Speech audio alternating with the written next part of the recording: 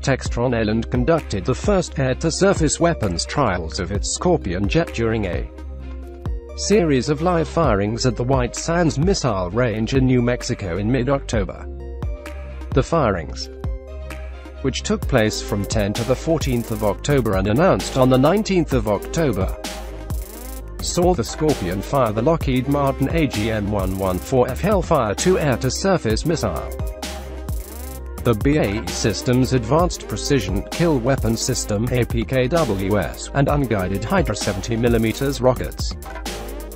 A ground-based laser designator was used in the first instance, with the aircraft self-designating in later tests using its L3 Wescam MX-15 die.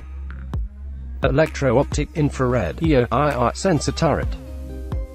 First revealed in September 2013. The tandem twin-seat and twin-engine Scorpion jet has been developed to suit mission sets including counter-insurgency, border patrol, maritime surveillance, counter-narcotics, and air defense. In a package set to cost no more than 20 million United States dollars to procure and 3,000 United States dollars per hour to operate. Textron Airland has built the aircraft around a 2.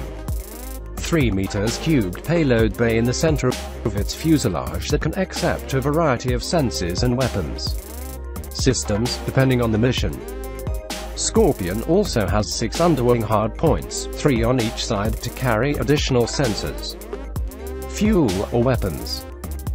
It has been seen at a number of air shows carrying the Textron G-Claw and Textron Thales Fury guided light munitions.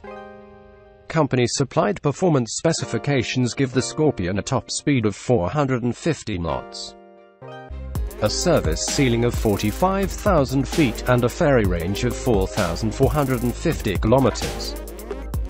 One flying prototype has been built to date, with a production standard aircraft expected to make its maiden flight shortly.